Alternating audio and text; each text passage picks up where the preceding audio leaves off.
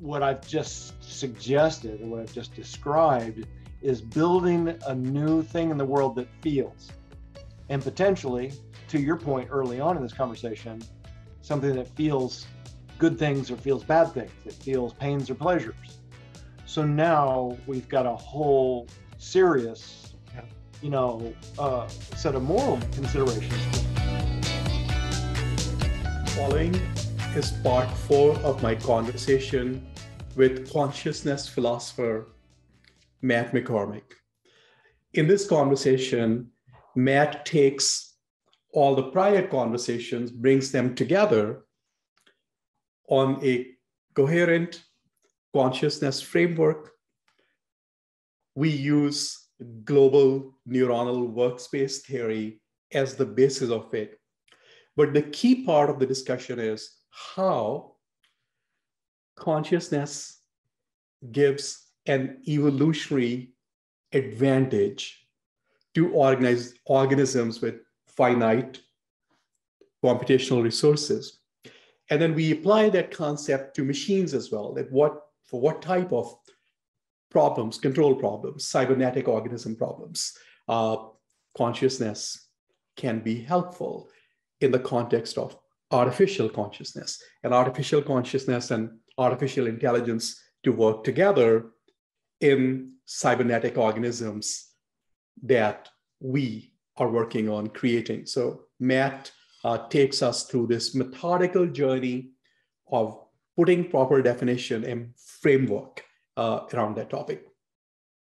Hope you're going to enjoy it the way we have the prior three episodes and my conversation with uh, Matt will continue, We'll continue to expand in future episodes on other related topics and adjacencies. And now here is my conversation, part four, with none other than Matt McCormick.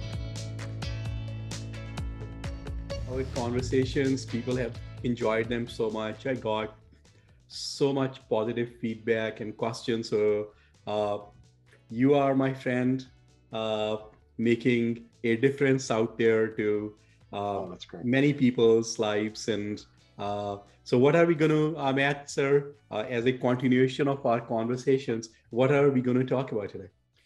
Well, thanks very much. Um, so, I, I had gone back and I was watching the podcast that we did and sort of listening more carefully and it gave me a little more pause to be able to focus more closely on what you were saying than what I was saying. And at some point, maybe the second or third one, you had been pressing this point about qualitative states. And we've talked about that a lot and about whether or not machines are going to have qualitative states and the like. And you, were sort of um, pressing around this Chalmers style point this argument that's on everybody's minds these days that the hard problem can't be solved by physicalism and you know I'll, I'll, reference everybody to previous discussions in my other videos for you know background on that but there's this sort of elephant in the room in the last 20 years for anybody doing philosophy of mind um, of Chalmers's so-called hard problem. And there's a whole industry of people, you know, arguing and publishing papers that say it's not such a hard problem, it's solved, and so on and so forth. And I'm one of those people. I don't really. I think it's um, I think it's a dragon that's been pumped up and it's um, actually a solvable issue. It's not the hard problem everybody thinks it is, but that's a that's a question that's sort of broken along party lines among philosophers of mind.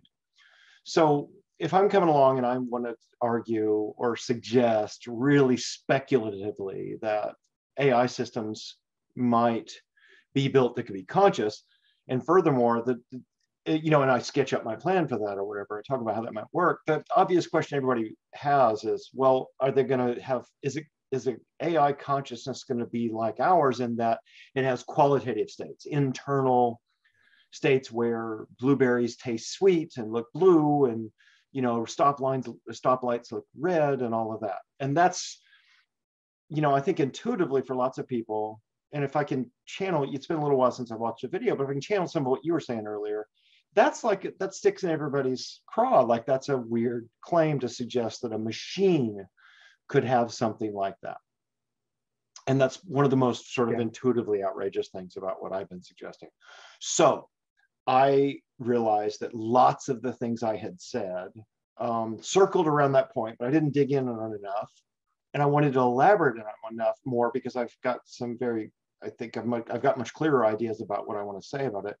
And I also realized that we need to talk about global workspace theory in order for me to flesh out the details of my answer to this question. Uh, I'm going to share with you one question from the audience on the earlier episodes and one uh, this sort of joke that came up but not you know joke at the expense of Chalmers so you were talking about hard problem so certainly uh, many people who i know uh, that i even work with from a day-to-day basis got to listen to all three episodes. Then they got into your other episodes on your youtube channel. And so anyways they got the gist of uh, the hard problem of consciousness. In one of our working sessions here's an executive. So he says chalmers is a marketing genius. Yeah. He came up with the hard problem and everybody's talking about in philosophy for the past 30 years yeah hard problem and then he, we were challenged can we come up with for our own 2022 goals and initiatives for our software you were saying can we compete with Chalmers? can you can somebody give me the equivalent of hard problem here yeah. in this industry so that the whole universe starts talking about that and of course you know uh, that is uh, not uh, something easy to do. But I was just, uh, I did not do anything to initiate it. I, it, I just noticed that, my God, that we are just normal software engineer people and yeah. uh, developing software uh, and normal software for that matter. Uh, nothing too crazy about it. And we are talking about in our meeting yeah. Chalmers and hard problems. That's the joke the a question that came from the same person for it's you. It's absolutely right. I and and I have to say that it is marketing genius and it works. And the other trick is what you do to insinuate yourself into all of philosophy is you write a short uh, uh, sort of thought experiment paper that has a catchy name or slogan like that that poses a sort of difficult problem in very vivid terms like colorblind mary or the turing test yeah. or inverted qualia or whatever. And then you get it into the anthologies for introduction to philosophy textbooks or to uh, philosophy of mind textbooks. And then everybody starts talking about it. And as you pointed out, neuroscientists, cognitive scientists, psychologists, computer scientists, everybody talk about it. Partly because it's so, you know, it's so soundbiteable. It's just so pithy. Uh, although lots of people talk about it, don't seem don't really understand what it is. Yeah, yeah, that is also very true. So then the same person asked you, a, gave me a question for you. And the question is, uh, what is the difference between qualia and valence? And then it, this person goes on commenting that is qualia, you know, as you were saying, the redness of red or pay, the, you know, the feeling of the subjective feeling of pain or whatever that is. And is valence then, is it good for my lively, good for me as a living being, or bad for me? And is valence the common language across all many different states of qualia that valence can be good or bad, and uh, but qualia is that specific qualitative experience. Uh, and is I think the question is, in your opinion, how do you see qualia versus valence? And is valence this common currency to for these different subjective experiences to maybe at some level uh, communicate with each other. Uh, so over to you, sir. I, I'm not sure if I know that use of the term valence, if I'm understanding this right. I might go look it up after. Uh, the way I will sometimes use the word valence is in the connection with emotional responses or limbic system responses. So, you know, you see a, a, a, a horrific scene of violence on the news, and that has an emotional valence for you. So not only are the, the qualitative features of the picture of, you know, a murdered body or something, or you know, the colors, the lines, the surfaces, um, so that sort of take the the sensory properties of it. But our limbic system produces this uh, sort of a visceral emotional reaction too that kind of drapes over it. And I, I use valence that way. I'm not sure if there's another way it gets used that maybe your questioner is thinking about. So I'm going to talk about qualitative states. Awesome, awesome. And by that I mean colors, sounds, um, surfaces, edges, and so forth that um, are that we're in contact with at our sensory periphery and that are produced by you know our eyeballs, our ears, our fingertips, our tongues, and so on.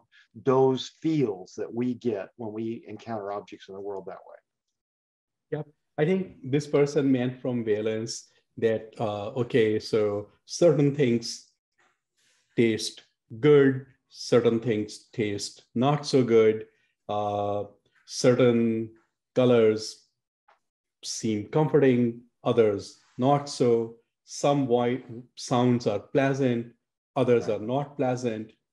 And apparently, there is something in the uh, neurobiology and homeostasis sort of, you know, uh, uh, literature where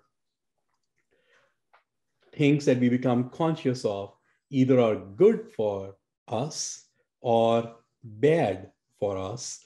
Uh, right. Normal breathing is good. Uh, feeling shortness of breath, bad. So valence apparently is a binary scale of uh, good or bad.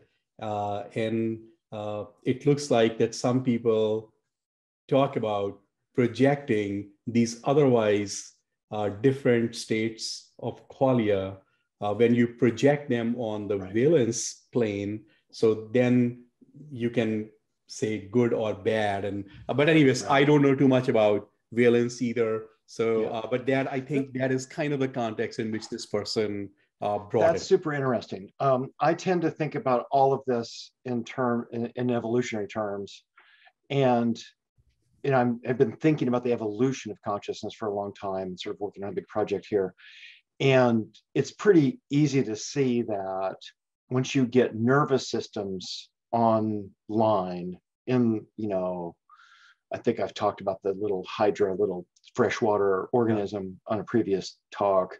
Once you get primitive nervous systems online, you know, about 350 million years ago or so, uh, that it's pretty easy to see. You can imagine that those nervous systems are then having what evolution does is it is it evolution is is is making selections out of the gene pool on the basis of ad- adaptive traits and one of the ways in which evolution i'm going to talk about it sort of teleologically the one of the ways that it discovered how to steer the organism this great big organism like you and me is with these aversive feels or you know, appealing feels, things that feel good, things that feel bad. Very simple dichotomy here. So it it once you get a nervous system in place, you know, by little steps, you can imagine that evolution devised these systems that could then use locomotion to move away from the things that hurt the, the negative valence uh, sensations and move towards the things that feel good, right? And that's a very simple dichotomy. But then this gets richer and more complex and more diverse over the millennia until it has all of these tiny very rich, um, complex distinctions and very lots of different contents in a system, you know, like a sensory system like yours or mine. There's all this different content um, that we can only pay attention to a little bit of time. Okay. So it builds slowly built up from a simple, you know, distinction like that, aversive versus um, you know, appealing or pleasure pain feels to something more and more rich and, and useful and with finer gradations and scalings to be able to do better world modeling. I mean, ultimately what this is about is, and the way I'd like to portray this is that, well, here, this is actually a good segue. And I think that, um, I, I think it'll be long-winded, but I will have an answer or have some more to say about this question um, with what I've said today. So I wanted to make sure I said something really clear and simple about what I'm getting at. Um, that I was afraid that might have gotten lost in my, you know, digressions in one of the previous conversations. So here's a simple question, simple answer. from me, as straight as I can get it. Why would you build a conscious machine, machine with conscious, with qualitative states? Um, those are already pretty outrageous claims, but my answer is something like this. Evolution uncovered consciousness as we're talking about it, and qualitative states, which are the contents of consciousness, as vital solutions to some complex world modeling problems in building a reasoning cognitive agent. So consciousness, um, especially a complex one like ours, you build a little world inside, you know, I'm going to use this inside outside metaphor. It's just a metaphor though. You build a little world inside, and I have my thoughts inside, and I use that to plan and navigate and explore and theorize about the world outside. And the more information I gather from my explorations of the world, the more, and if I've got the cognitive equipment for it, the better a model I can build of the world that will let me plan, predict, um, avoid, you know, harm, uh, you know, succeed at my goals. Okay, so that's what ev evolution, that's what consciousness is for in us. Um, so then what about machines? Well, I think the simple answer is we might well want to mimic some of those structures in AI systems um, if we want them to succeed at certain kinds of problems. Uh, you know, you've, you've got a rational agent that evolution built that you set them loose in the world. Imagine a, you know, a toddler on a desert island and they go out and explore and they touch and feel and investigate things and build up a model about what's going to hurt me, what's going to feed me, what's going to clothe, what's going to keep make me feel good, what's going to make me feel bad. And the the more robust and more complex and more detailed that model in the head of the world that they're inhabit is, the more successful they'll be at their, you know, their projects, their goals, what they're after. So we may well want to be build. Uh, I mean, we're free not to, but we may want to build AI systems you know, like you're working on supply chain logistics at Algo. And I can imagine that there's, you know, there's this vast sensory data array that an AI system could could have access to. And then we might well want to build an AI system that devises novel solutions to how to manage, you know, supply chain logistics. Um, so consciousness is a very good uh, economical, parsimonious way to solve some track, you know, to make some computational problems tractable. And qualitative states are sort of the placeholders that that fill in the details or fill in the, the give the valence or give the, the qualities to that internal model that the agent's thinking about.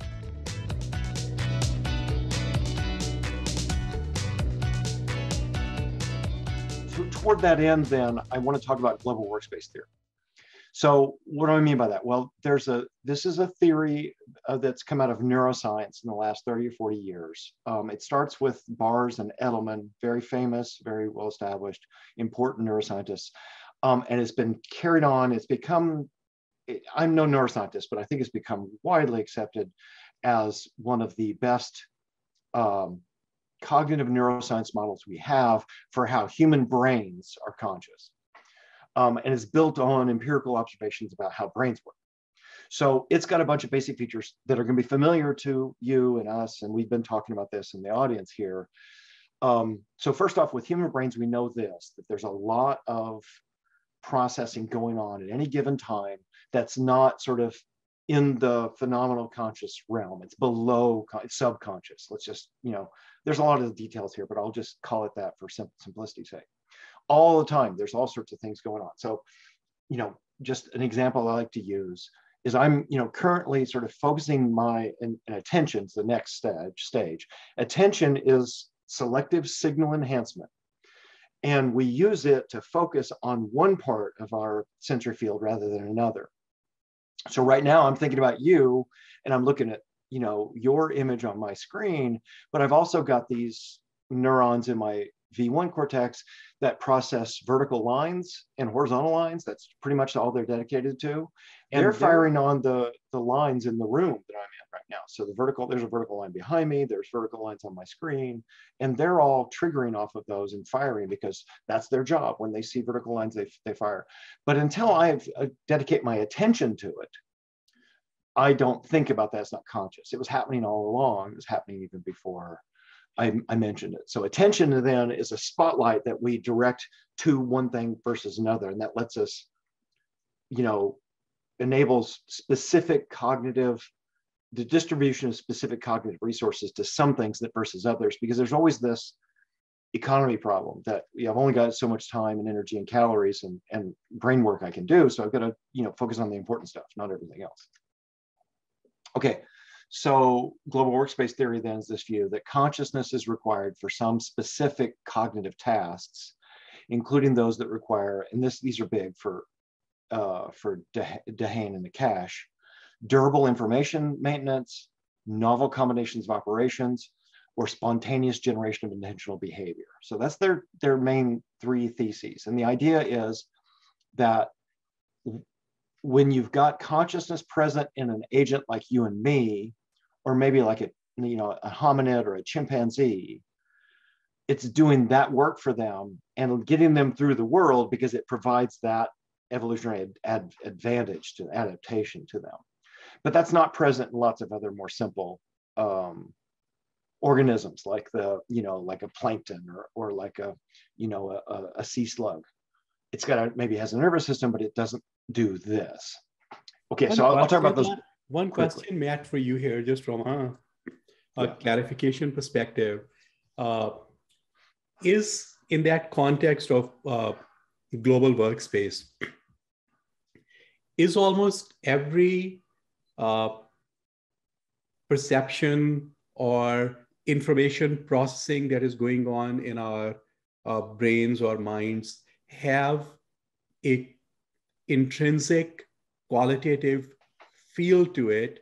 And when many of us within the mind put this collective attention this uh, selective enhancement then we become conscious of that thing you know but it was intrinsically it, it but it intrinsically always had you know uh, that qualitative feel or qualia to it. It is just that you know we are not conscious of it and we only become conscious of certain things. So is that a fair way to think about that almost everything has a that is going on has a qualitative feel to it and if we put enough selective enhancement select, yeah. attention on it and we become conscious we become yeah. aware of it uh, then it would feel like something uh, right. is that a fair sort of that's a great question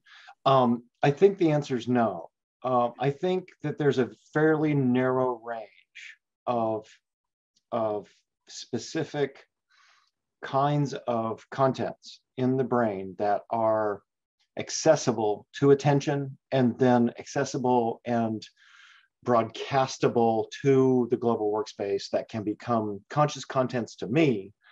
And compared to the vast array of work that's going on at any given time, there's only a tiny frame of that that that stuff I can get to as me as sort of an aware agent.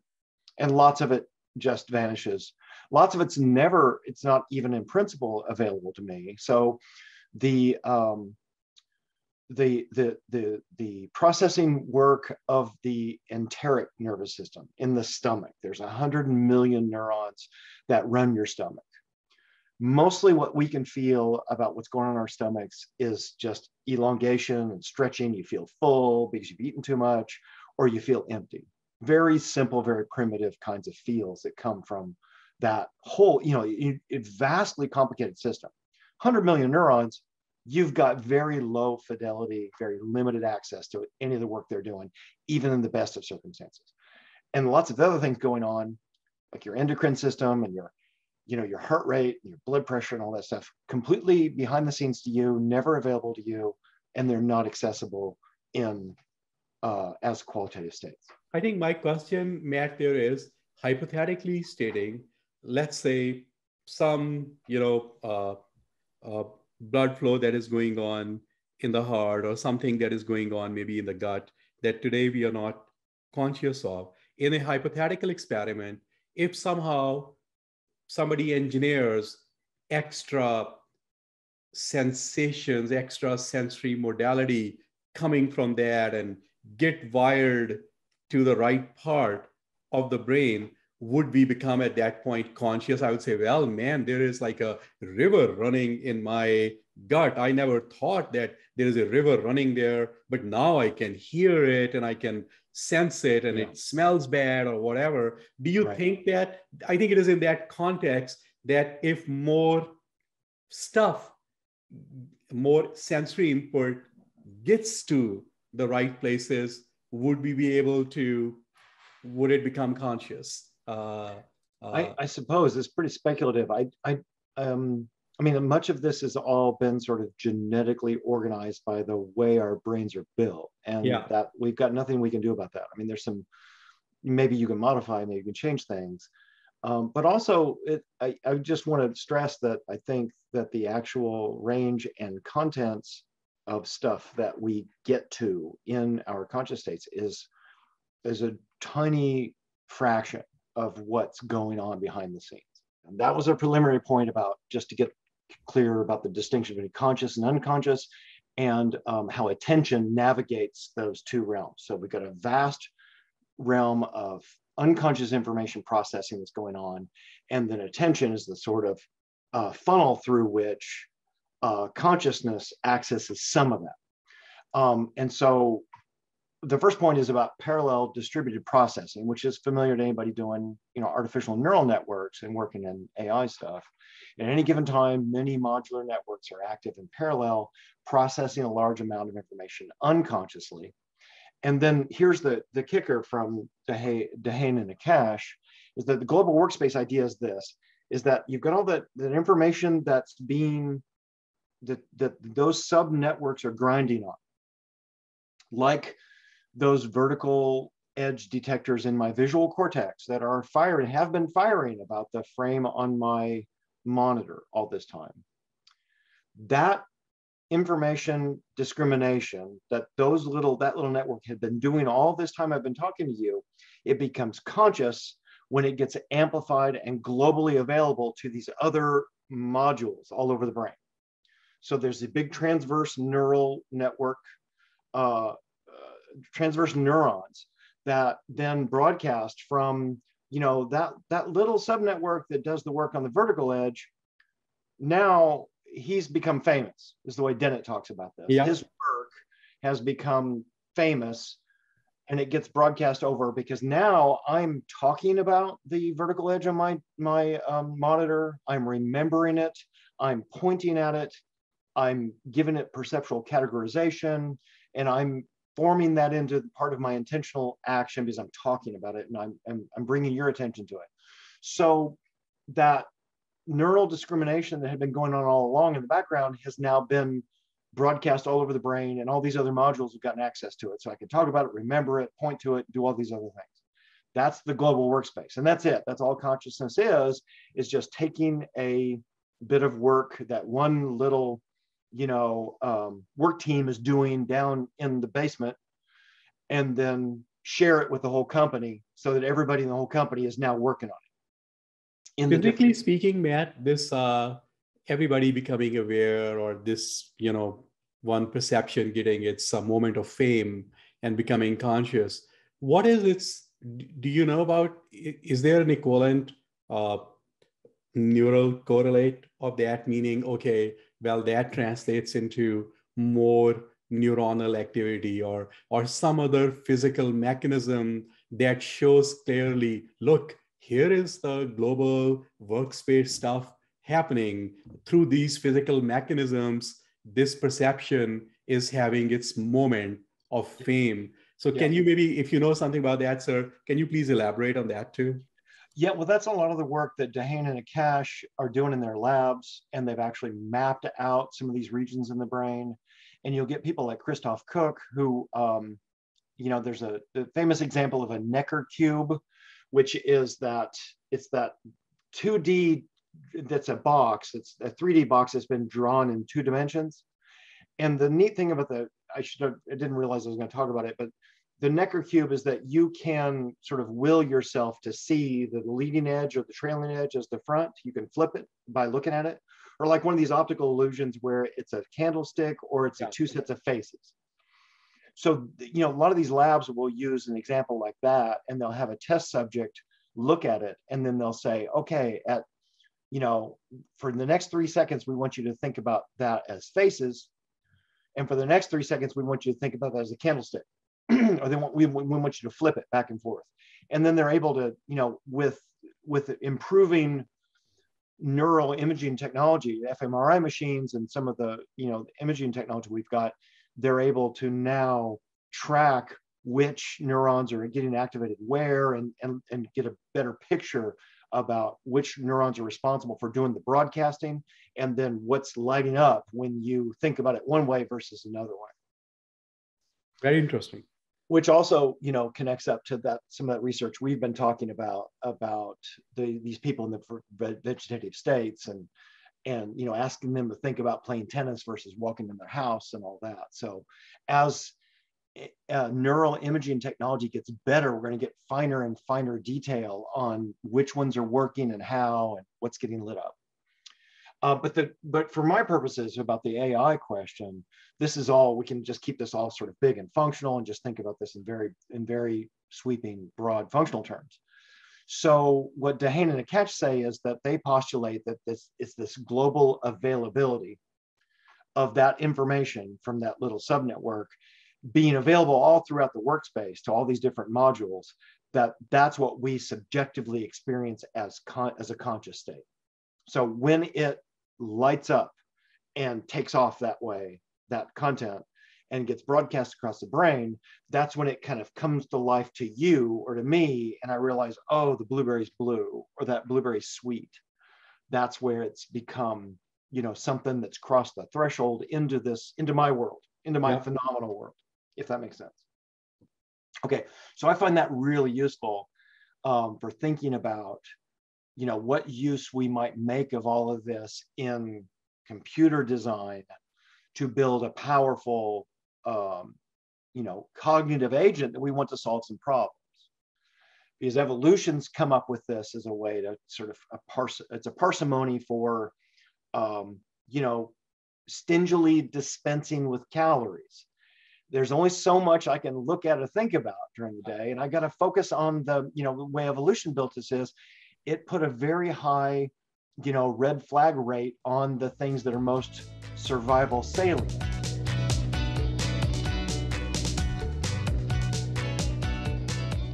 I, actually was going to share this slide. I'll talk about it for a minute to see what you guys think about this.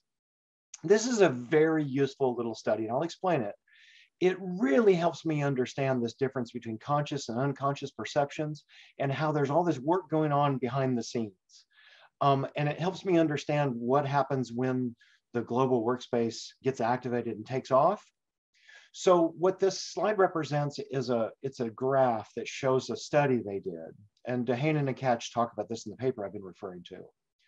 And what they do is down at the bottom here are these are milliseconds. So they show subjects a noisy picture of nothing, just a big blob for 500 milliseconds. And then they flash a picture of a face at them for 50 milliseconds, which is actually below sort of the threshold of something that you can report on. Yeah. So if we just did that and then showed you a noisy signal again, and we said, What did you see? You'd go, I didn't see anything at all. But then after another 33 seconds or 33 milliseconds of a noisy signal, we show them another picture. So there's identical ones where we show Tom Cruise, we flash a prime of Tom Cruise for 50 milliseconds, followed by a longer lingering picture of Tom Cruise for 500 milliseconds versus this is Cruise from a different angle versus Cruise's face this way, short then long. And this is another actor first and then Tom Cruise long. And what happens is that people can report on what they saw in the last column. If you show it to them for half a second, they're like, yeah, that's Tom Cruise. But that prime throws their systems off If you show them the picture of Tom Cruise here first at the prime stage, they will identify Tom Cruise over here faster. But if you show them this picture, or especially this picture, this is another actor. This is the guy from Trainspotting. I forget his name. If you prime them with that picture and then show them Tom Cruise, it actually takes them longer to identify Tom Cruise when you say, "What did you just see?" Very interesting. And I think what it's suggestive of is that there's the gears were turning even with 50 milliseconds even though you aren't aware of it, you are none the wiser. You never knew you saw this other actor's face. There are gears turning in your brain, categorizing and trying to process that first prime image and trying to get the, the gears turning to answer the question or try to feed into what am I seeing? What am I looking at? And if you if I feed you a prime that's something different, and then I show you the longer one, those gear, you know, that that the metabolic processes to identify the first prime are already underway, and you've got to stop and halt that process neurologically and shift and get up out of that rut and go over and now identify Tom Cruise. So very the, interesting. So the bottom one takes longer than the top one, which I find to be just amazing, right? Yeah, it is. So that's probably what I mean by unconscious perception. Oh that clearly the prime is having an effect on these subjects' cognitive systems. It's causing neurological events to unfold, but it's not accessible to them phenomenally as agents. If I'm just introspecting on what's the state of my mind right now or what's the state of my stomach or anything, I can't tell you that it happened, but it definitely happened in my cognitive system and it had an effect on the outputs of my cognitive system. So um, I find that to be really useful to help me sort of understand yeah. what's conscious, what's not conscious, and what's going on behind the scenes versus what am I attending to. And then in the in the letter to connect it back to global workspace theory, the point is when I show you a picture for long enough for you to get your brain around it and think about it, you can activate. And now I can say the words because I'm accessing the verbal centers. Tom Cruise. I'm accessing memory. I'm connecting it up to Mission Impossible movies and so on. And I'm doing all this much more robust processing because I've gotten my, you know, my brain around the thing I'm looking at.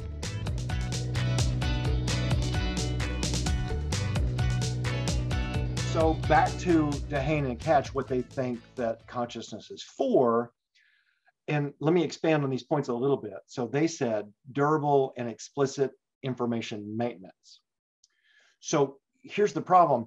When I when my eyes saccade across the room, or I look out the window and look back, or when a car drives by on the street, that sensory encounter happens for what, a second, and then it's gone. Okay, well, as a cognitive agent trying to navigate a complicated world where there's lots of things trying to kill me, it would be useful if I could build a construct, a representational construct of that car and deal with it in, in my head, even when the car is not present, or even when the object is not present in my environment. If I can plan, if I can analyze, if I can remember, if I can think it about it, if I can model it, if I can develop causal theories about it, I'm so much, I'm way ahead, right? So, yep. you know, imagine like an animal with severe amnesia and it just sees whatever's in front of it at that moment maybe it's like our dogs you know your dog is very happy to see you uh, when you come but it's just a surprise. There you are you're home and then you leave and the dog just goes back to sleeping and sort of you know this it, there's not sort of a lot of object continuity there for the for the dog. So yeah. object object continuity inside the representational forum in there is is highly adaptive for obvious reasons right? Yep. If if the tiger ducks behind the rock and I know there's still a tiger there, I'm much better off than if I just think, oh, no tiger, I'm, I'm fine.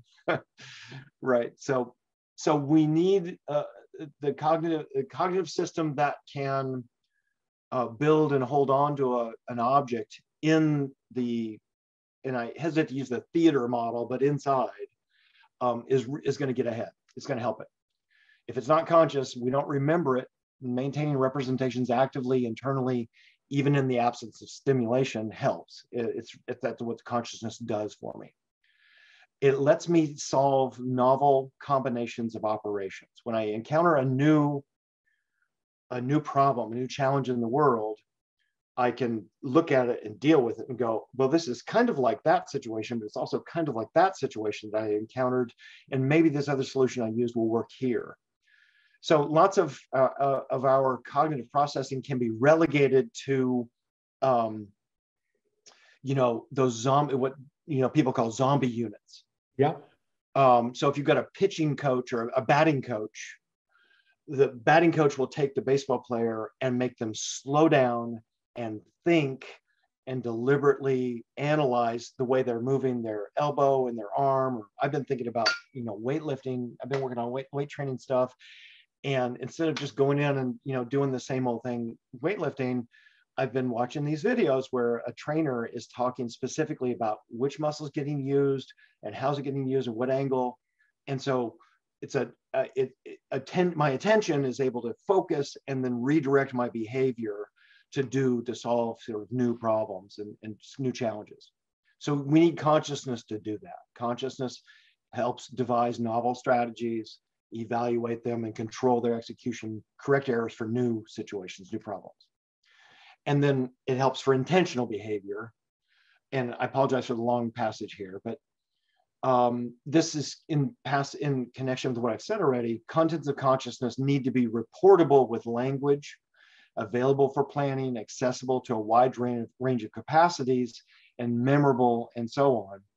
And without consciousness, you can't do a lot of that. You can't, um, your model of the world can't penetrate deeply out into causal, you know, structures or causal behaviors.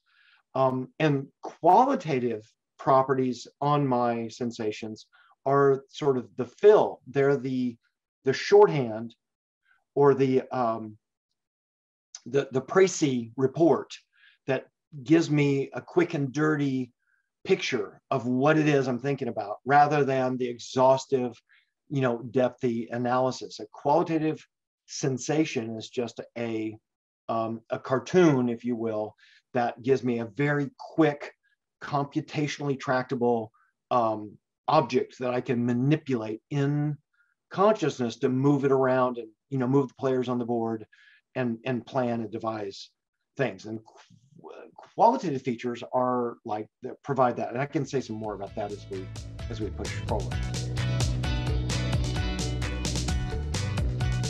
Dehaene and Naccache and I've, I've made this point they say look the what global workspace model does is or what the global workspace does is it connects up perception motor control long-term memory quality and reliability evaluations, attentional direction, and so on. So this is some stuff I lifted out of their passage.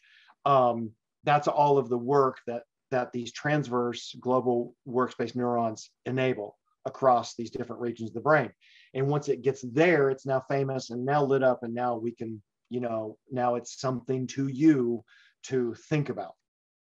Okay, so getting to the heart of the question, then why qualitative states in consciousness? Why does it have to feel like something versus nothing? And famously, Chalmers's original, you know, thought experiment here was to imagine in his 1995 book was to imagine that we could he says we could imagine that all of the laws of physics are exactly the same and all of the chemistry and all the neural events are exactly the same um, and that everything unfolds with me talking and talking to you and talking about myself and reporting my thoughts and all that. All of that goes exactly the same but in fact there's nothing there's no lights on at home. There's nobody at home. It's dark inside.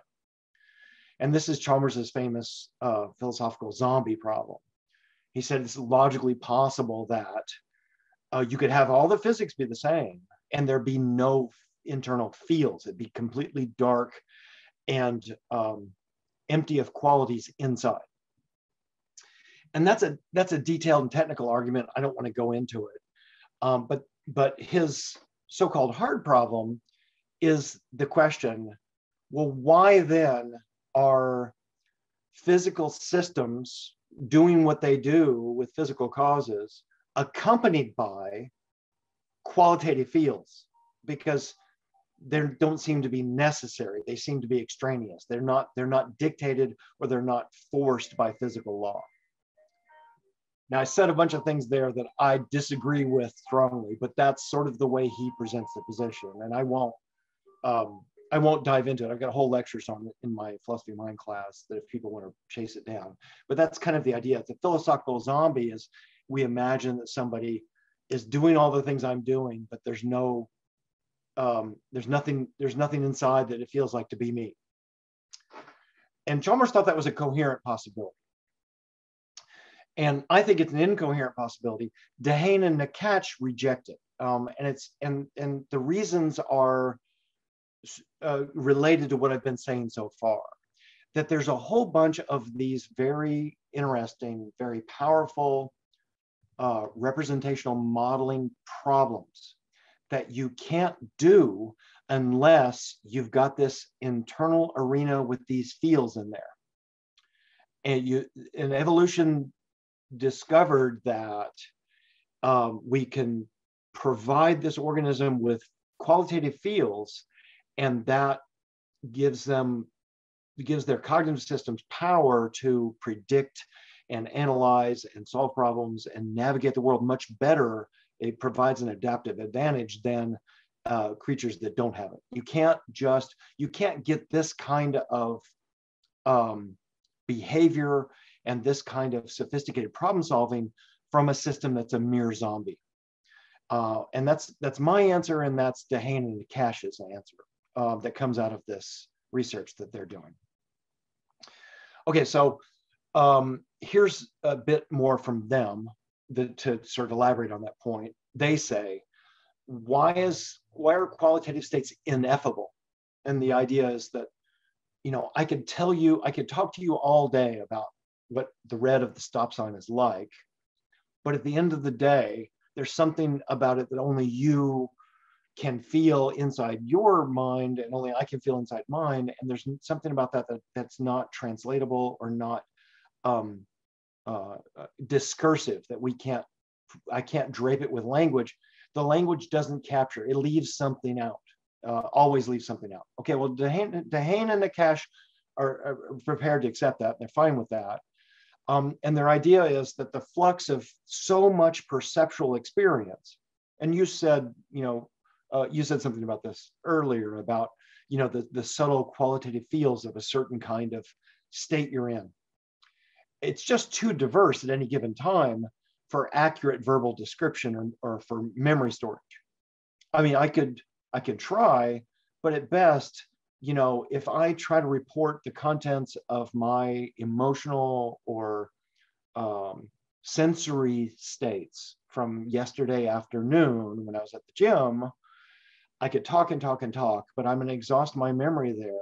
And there's going to be a lot about what I was going through with my, you know, PDP system that was soaking up all of this sensation from my environment that I'm just not going to be able to report on and I'm not going to be able to communicate. I can't capture it all. It just takes too much memory storage to capture all that.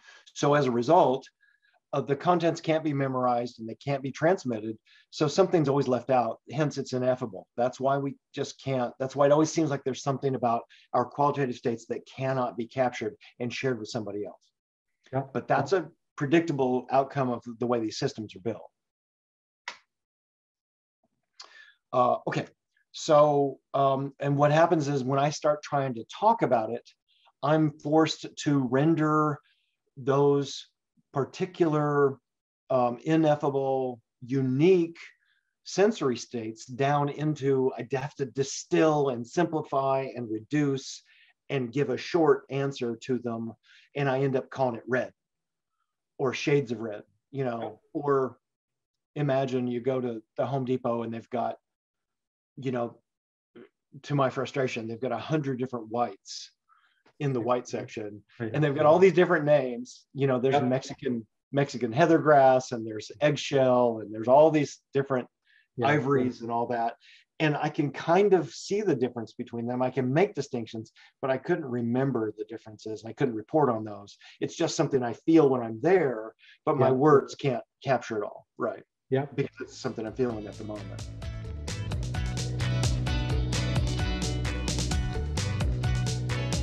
Okay, so to the hard problem then, Chalmers has argued that everything that could be performed by zombie units, that everything could be performed by zombie units with no internal fields. And Dehaene and Naccache are arguing, look, without global availability, where you broadcast these contents all over the brain, lots of processing, processing like planning, anticipating problems, and problem solving just can't happen. You, you, you need that durable, sustained representation in mind so I can form plans and ideas about it and think to myself, I'm going to go pick blueberries. They're almost ripe. Um, and tomorrow they'll be ripe. So it's time to get them because that's when they taste the best. And zombie units, um, mirror zombie units at these low level processing, like those ones that do the you know vertical line processing in my visual cortex, they can't do that work. That work is high level abstract work that's done on these objects with their they have fill, they have you know qualitative properties to them that are sort of shorthand references to what the object is in the world that I encountered. That makes sense so far? Yeah. Um, okay, so and their view is that global availability can't happen unless there's represent where those representations feel like something to the agent, and the feels are a short version um, of it rendered to me. So you know the uh, I keep using blueberries. I've got blueberries in my example here coming up. Um, look, the, I have I have a friend who has a, a vineyard, and this is quite amazing actually. They they grew all these wine they grew all these wine grapes, and the grapes were ripening and ripening and ripening, and they knew right when they were going to be ripe, and they were planning to harvest them. And he said that the the squirrels and the deer and the birds descended on his little vineyard the night before they were going to harvest all those grapes because they knew that, that that's when they were at peak sweetness yeah. and they were at, at the best nutritional value right so the the raccoons know as well as i do what tastes like a good grape right yeah. so well what is that well that sweetness is the way it feels to me it feels good on my yeah. tongue but what it is, is a, it's a glucose molecule. And evolution's trying to build a, an organism that, that, that is oriented in its environment around glucose molecules, among other things. Yeah. It yeah. likes those and it, it avoids other things. Well, you need to give it a meter or some tools to be able to identify and and track glucose yeah. molecules. Okay, well, I can't do a chemical assay on it. I can't put it in a test tube and break it down and and and take it to, or put it in a mass spectrometer. Evolution's trying to give me some like rough and ready, quick tools that will help me find glucose. Yeah. What is that? That's ripe fruit. You know, that's that's this that's an indicator. It's a very fast, quick and dirty, computationally tractable measure of when the bananas are ripe, when the when the grapes are ripe, when the blueberries are ripe, those colors are the are the um, the tell, the report that tells me, okay, now now that thing's good and ready to eat. And and their idea, and I think they're dead right about this, is that look, you you need to be able to model anything, a human and an AI system, if it's gonna solve, you know, sort of complicated problems in its environment.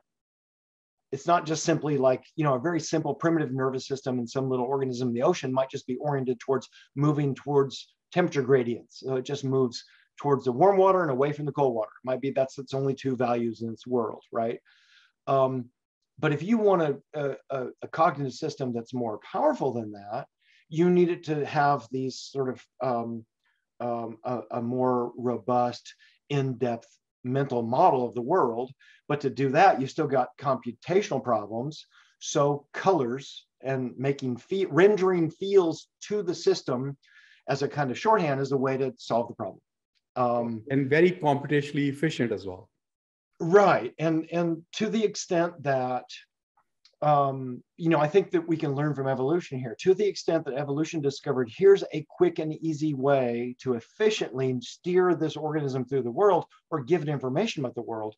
We might well want to build AI systems to be able to form high level abstract um, kind of property judgments about the way things feel Now, maybe very different kinds of sensory apparatus.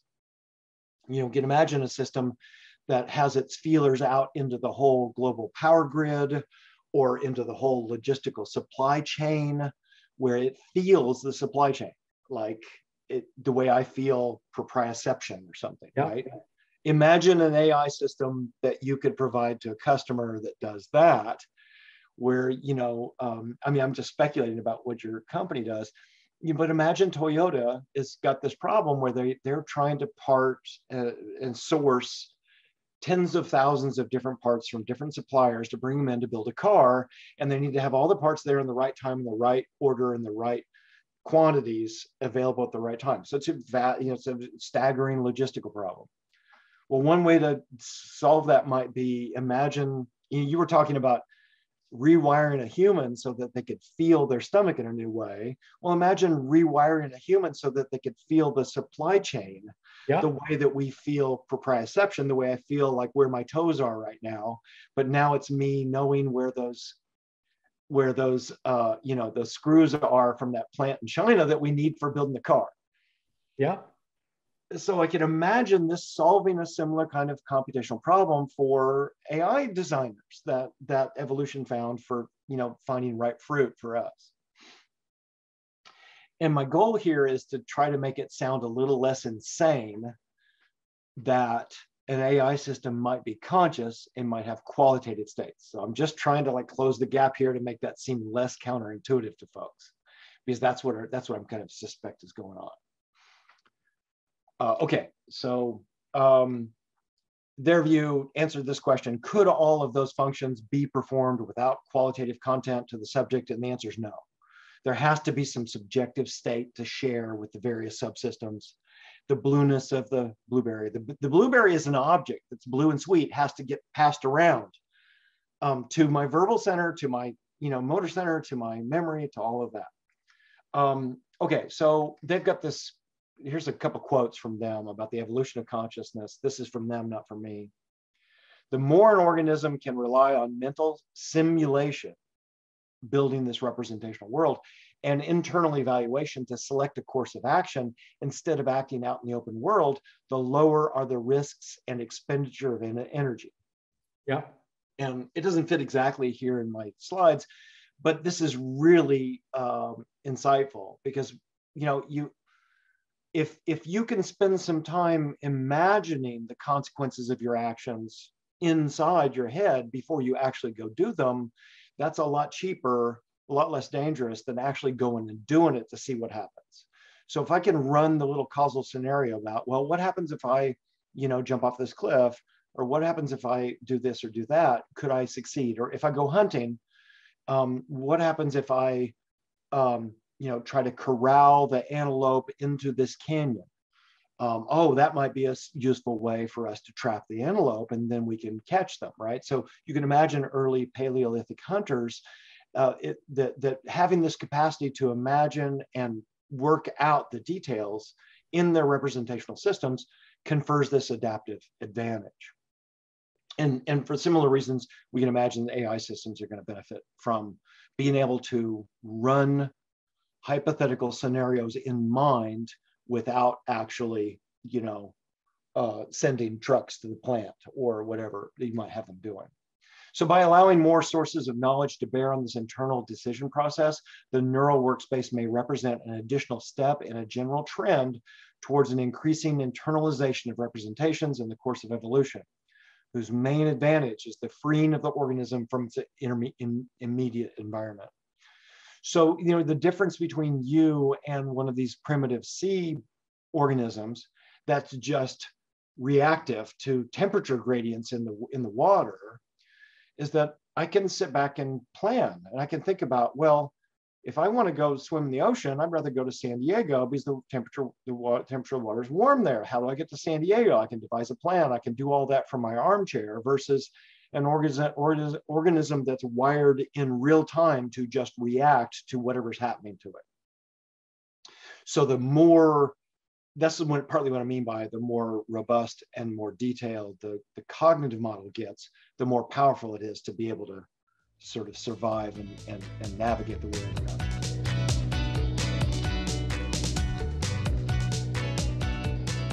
Um, okay, so I can now actually sum up, and I'm sorry for lecturing so long, but I can actually sum. Up, I can sum up, uh, uh, like point by point, stuff I've been saying in about eight points here over the course of all of our podcasts so far, and I think most of it will make sense, and it'll also lead to the question about AI systems.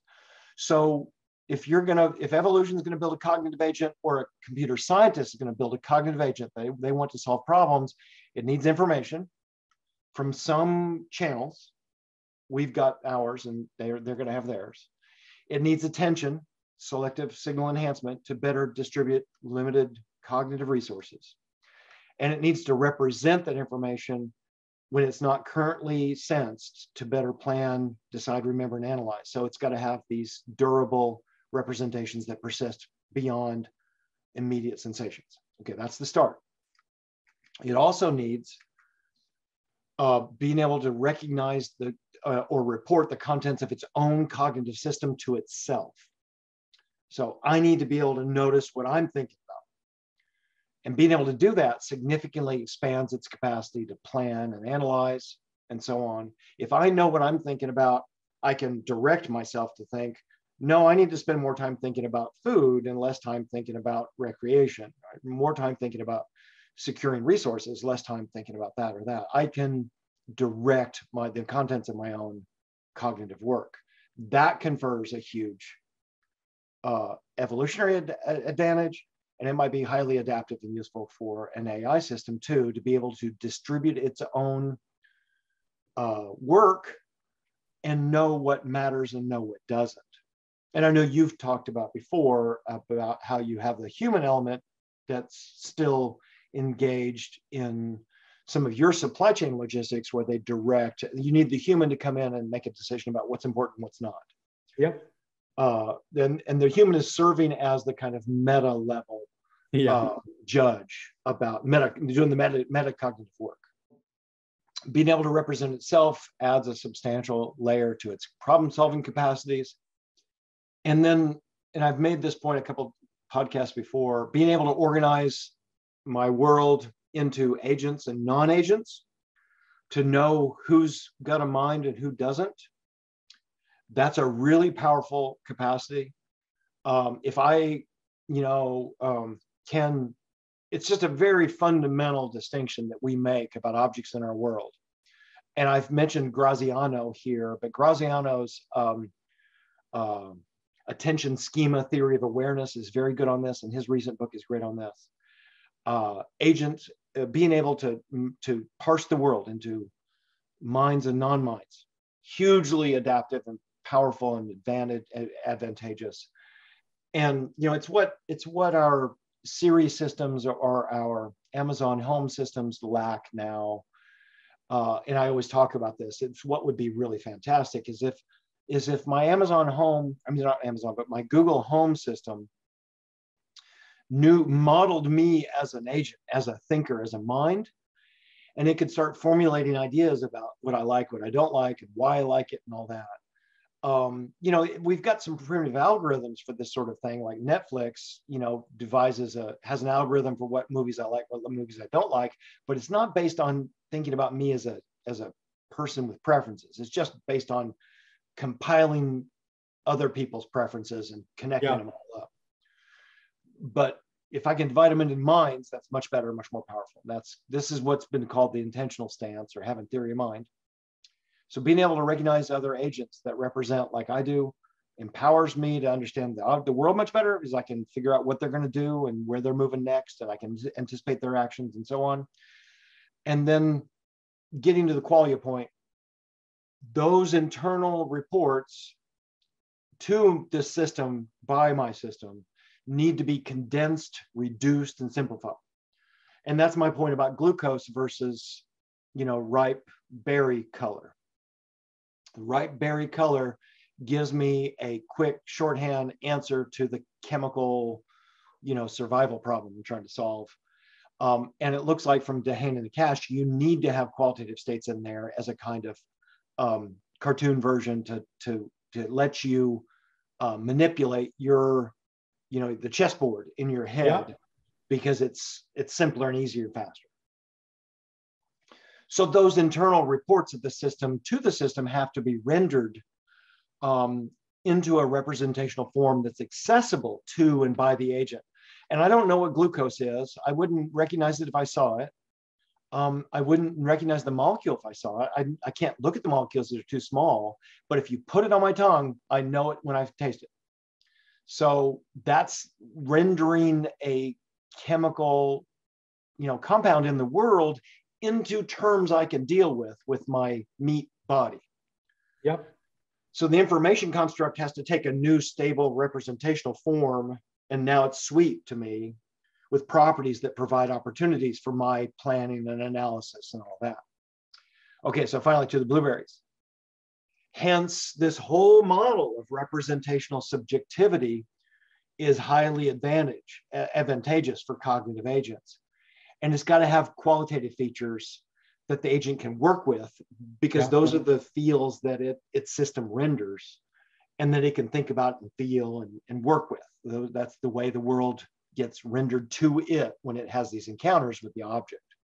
So the sweetness of the blueberries is a marker and it's a translation of this environmental information into a form that the subject with their particular faculties can feel, recall, behave, make decisions with regard to and plan and all that. Um, okay, so the qualitative interface makes fast computational, computationally tractable work out of all that and a global workspace system lets it broadcast all that work. And the smells and the tastes and the flavors do that work. Um, it's the object taken from the outside and rendered on the in terms of the inside.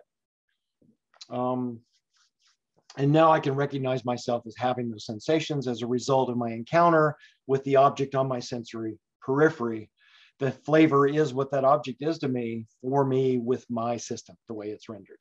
Okay, so, uh, and I, I was going to throw this other question aside. First, I'm going to ask, I've been talking a lot. You, have you got ideas or questions or things you want to contribute or raise here on the side? I think one thing maybe to uh, talk about uh, would be uh, your thoughts on how to, in a computer science sense, how to represent different qualitative states. So, you know, and I'm just now making it up, having different kind of number schemes uh, to say, well, uh, this kind of representation we are going to use for color, and this kind of representation we are going to use for this, so that we are not uh, mixing things up and we have we are maintaining this distinctive feel because you know the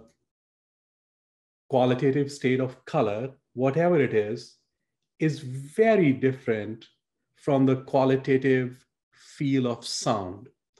And and so on and so forth. Uh, and uh, uh, so would love to understand that in a computer science sense what are your sort of thoughts on how to devise a representational scheme for these qualitative internal states, which then a software agent uh, yeah. can start noticing and say, well, you know, I'm noticing my own internal states and uh, and they're they're distinct from each other, even though uh, they are helping me model a certain object or a situation that I'm in. So would love to hear your perspective on uh, the, some engineering engineering yeah. aspects of it. That's a great question.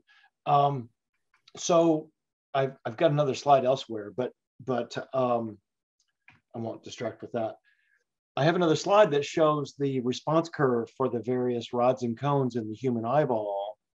And we've got these three different receptors. Um, green, I can't remember what they are now, yellow, red, and blue or something. We've got these three different basic receptors and humans more or less, when you, when you shoot EM radiation at them, between the roughly the 400 to 800 nanometer range, those rods and cones in the eyeball will register that as color. Yeah.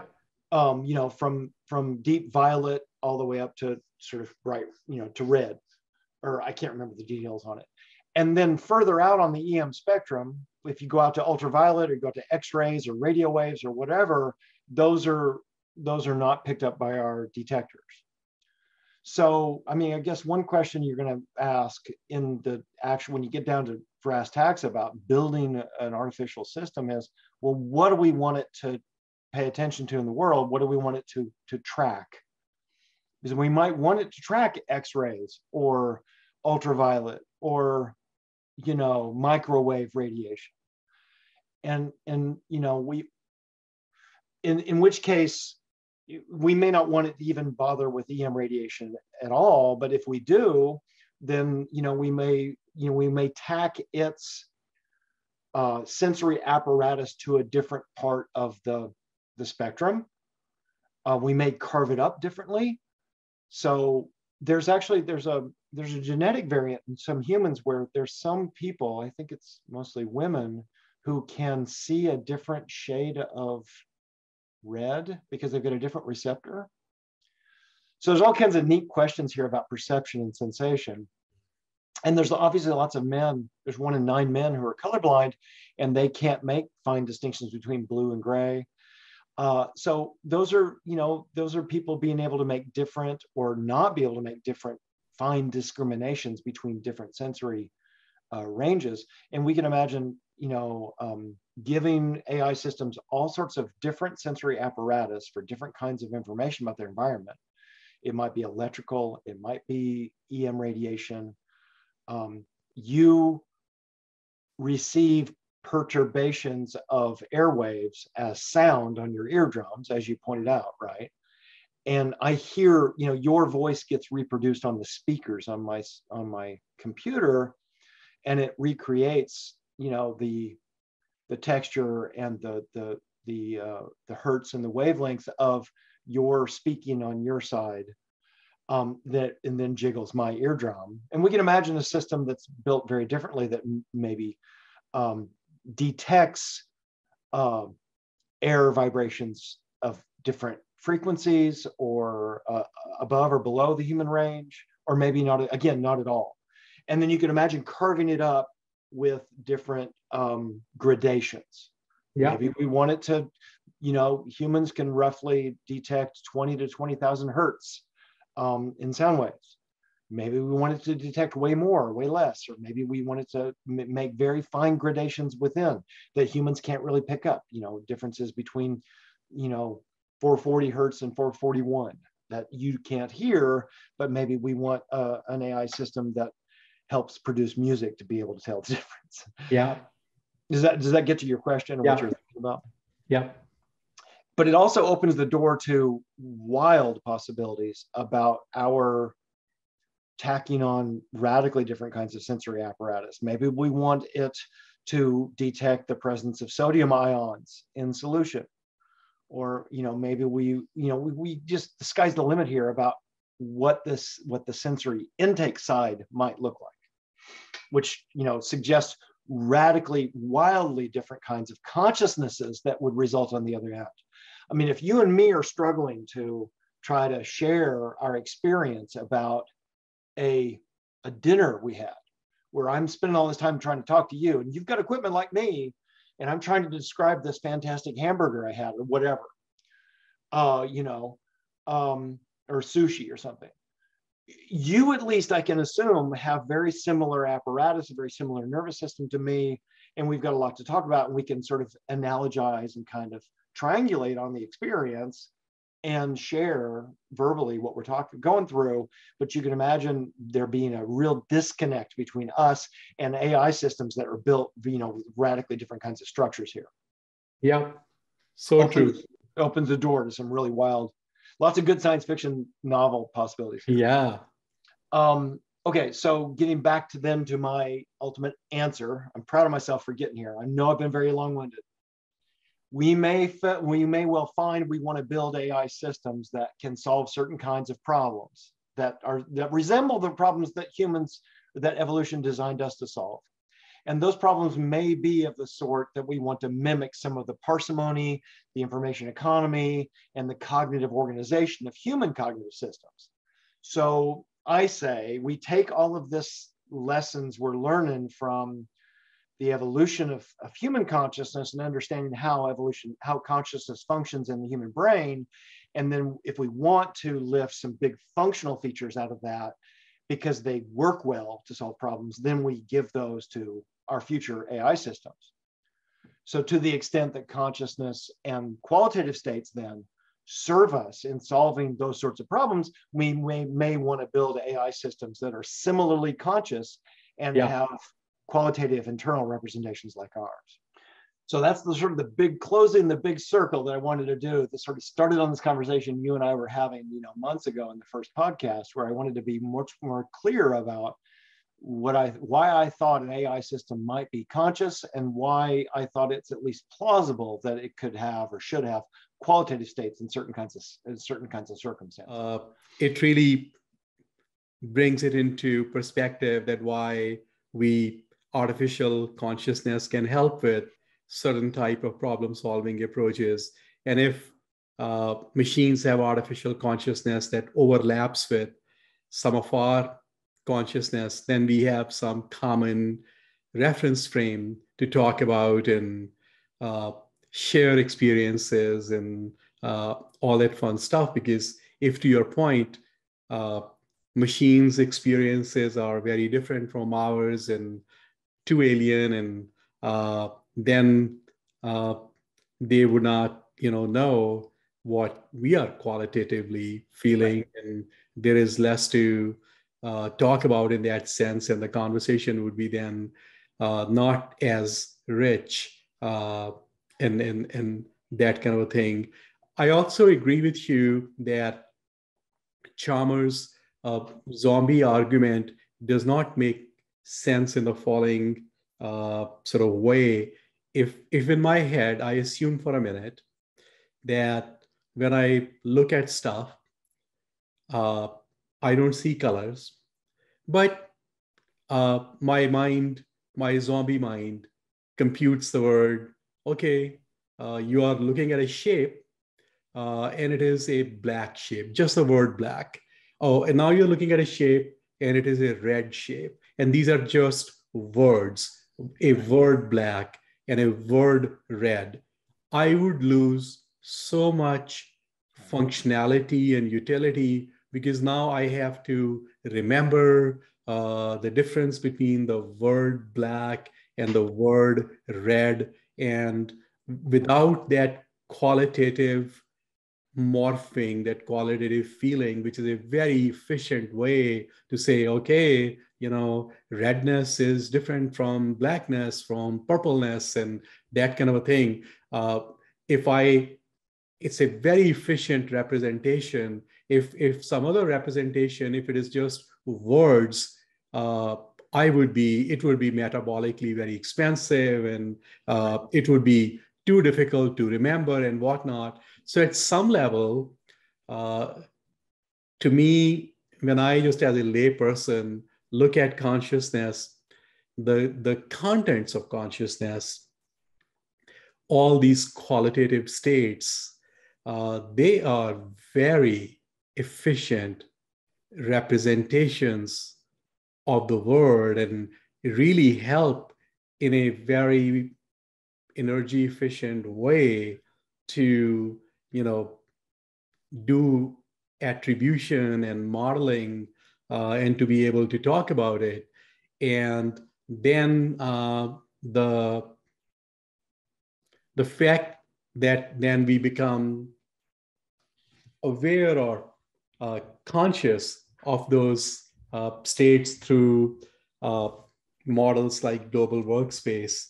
Uh, certainly, there is strong engineering relevance there that if everybody is speaking the same language, even when language has many different dimensions to it. It has a color dimension, it has a sound dimension, it has, you know, all these different sensory dimensions and fields to it. But if every part of the system uh, knows how to speak that language, right. uh, then uh, you can have an architecture in which a mind can happen and uh, we all part of the part of the mind part of those neurons can agree upon okay let's for a few minutes pay attention to uh, all different aspects of uh, a blueberry and uh, all different parts of the brain uh, would say well yeah so let's let's let's talk about that. And and then we move on to the next and the next whatever the attention algorithm is. Uh, point of that is all these things slowly take mystery away. Uh, and i like your notion very much that if all those conditions of mind are met then we can assume that the machine is experiencing something. Mm-hmm. So that I find a very strong sort of, you know, I, I find that very powerful. That if all those conditions are met, then uh, machines are machines are conscious as well in the sense of that there is somebody home they are experiencing something as well. Uh, I uh, have you heard Matt about Donald Hoffman? I don't think so. I'll send you some of his uh, uh links and stuff. So he talks about uh, similar things uh, as well. that how evolution gave birth to consciousness, and then the type of consciousness that we have is and the type of qualitative states that we have, they are useful to our survival and that okay. kind of thing. He is mm-hmm. a, uh, I think, a cognitive scientist at UC Irvine, uh, okay. Donald Hoffman. Oh, I um, think I have. I have heard of him. I, Sam Harris interviewed him a couple years ago, and he's yeah. got a book out about this this sort of a hallucination view about you. You don't perceive reality; you just perceive your hallucination. Um, yeah. yeah, I do know that guy's work, and yeah. there's a similar similar point. Yeah. And I and I just add that what you just said made me feel optimistic, like I'd sort of gotten through part of what I was trying to get through, and I just you know strong even stronger than than the Chalmers point that here's a simple way to put it: there's a certain level of smart that just can't be achieved unless you've got this agent building these internal models. That's right. And building those internal models imposes certain kinds of um, computational restraints on us because of you know limits on computational power. Yep. So that makes qualitative properties necessary for building a, a system that's above that threshold of smartness we can build dumb systems that do other they do simpler things. But if you wanted to do some of these more sophisticated things it needs to be able to build the world in its mind. And qualitative properties are world building materials for a cognitive agent inside. So now, very powerful. to that end I, i'm going to throw a wrench in my own gears here with it with something that i haven't said a word about so far and i wonder what you think about this once we get to this stage, now there's a host of important moral considerations and problems that come yeah. to bear on this sort of project because, you know, what I've just suggested or what I've just described is building a new thing in the world that feels and potentially, to your point early on in this conversation, something that feels good things or feels bad things. It feels pains or pleasures. So now we've got a whole serious, yeah. you know, uh, set of moral considerations to throw into the, you know, and there's people out there arguing like Susan Schneider. I'm not sure she's wrong about this, and Eric Schwitzgebel's worried about it too. This this alone may be enough reason to keep us from ever wanting to do something like this, because you know, what if you're creating this entity then and then turning it on just produces now a conscious being that's in excruciating torment. Yeah. As a result of the way you've you know designed it or the or its ability to self-reflect or whatever.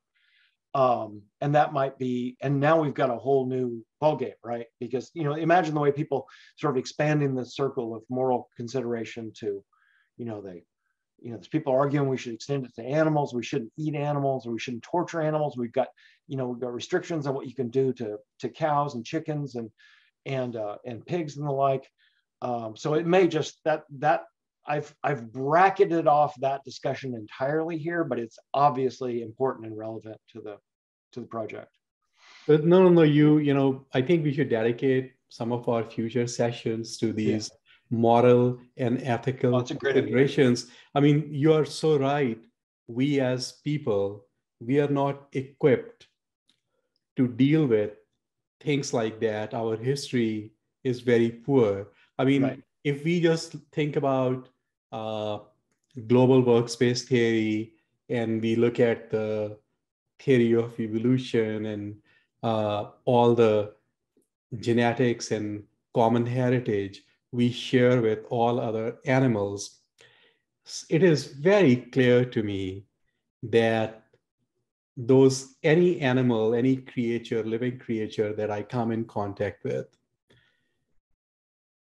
you know, they are feeling they are feeling something, right? So uh, I think the uh, feeling of pain is a common thing. Long time ago, a biologist friend of mine at MIT shared with me. He said, Amjad, if a living being has got, and a living being uh, uh, that is a product of evolution has got a sensory apparatus, it is only there because he or she or it can do something with it.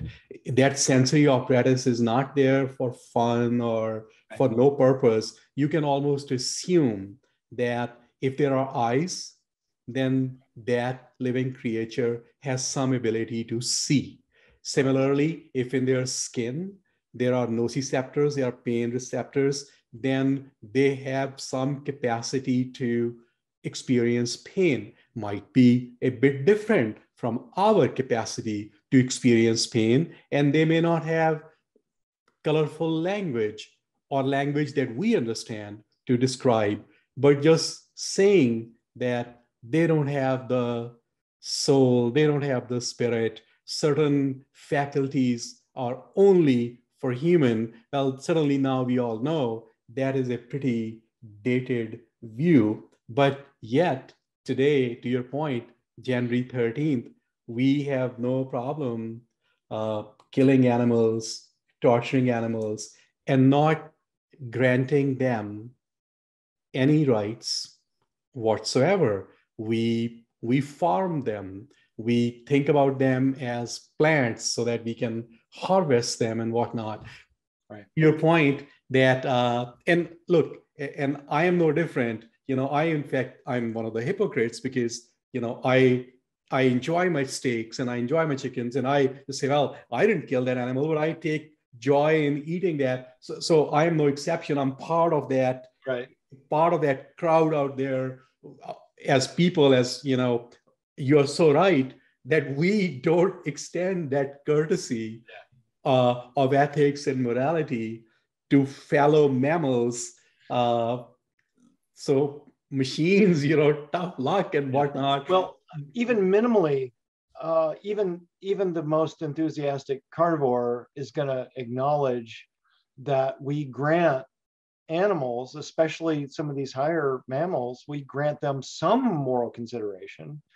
You know that, that that no matter how enthusiastic somebody is about eating their steaks, they're going to acknowledge that you know the suffering of a you know a, you, the family dog gets hit by a car and gets a broken leg and is laying there whimpering everybody knows that that's pain yeah. and that suffering and we all know that that because we you love the animal you it deserves some moral and personal consideration right so you don't you know even though people are hypocritical about this uh, i guess my point was uh, so here's a real moral dimension we're adding to the discussion because we may be that we yeah. are about to throw the switch and turn something on that is going to have experience and that could be just as relevant to you know our moral status as being a parent. Um, you know as a parent you're you ha- have some moral set of moral obligations of to take care of the child and and make sure it has a certain kind of experience. You don't want it to have you know so depending on what sort of moral convictions you've got you're going to have different answers to these stories these questions but they're legitimate worries and it, they may be so significant that they cut us off from this kind of inquiry, this kind of pursuit. A friend once said that, hey, you know, what if you hypothetically design a machine where it is stuck in a suffering loop? Right. It can only just suffer. Right. It and you have not given it any way to modify its behavior right. and and move away from suffering to yeah to joy and whatnot that you are just a stupid engineer stupid designer uh, i'm just making jokes at my expense uh, this was my my my friend saying those things to me lovingly and say you just you know just because you could you're a you know in your sort of entrepreneurial hacker right. style of right. you know let's try it out that you create something and it is now just feeling awful right because uh, the way the physics and entropy is uh, most likely the first experience that you would be able to create would be of suffering. Then you would have to figure out what I, what do i do? What do i do to you know make it suffering go away and whatnot? So i think you are shining light matt on a that there are there is a whole other dimension to this because you know most experiences even for us as people look at all the we even talked about in the last episode how much suffering is out there and how much suffering we as people inflict on each other. So, let alone now we create a whole new set of organisms uh, and machines, you know, who are also kind of in that category. We will save that. I think yeah. we'll just dedicate one of our future sessions, Matt, just on those because those are very important, uh, very important considerations uh, but this has been a fascinating chat, Matt, uh, as uh, always. And I'm so looking forward to just uh, continuing our conversations. And uh, thank you, sir. Thank you so much. I really appreciated the opportunity to like dig in and talk about this in more depth.